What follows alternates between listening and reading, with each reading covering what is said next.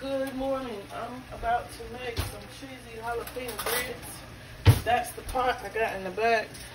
And I've got some uh, uh, chicken bouillon cube in it.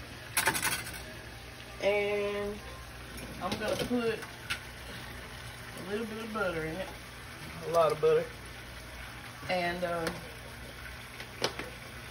I'm gonna slide some jalapenos in there. You can do jalapenos.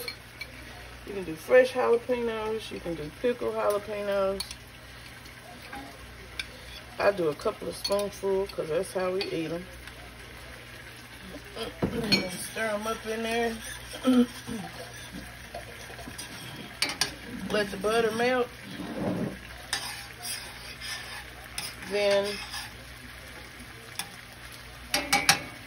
after that,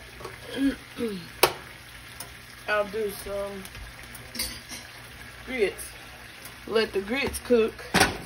Grits. Let the grits cook. And then I'll add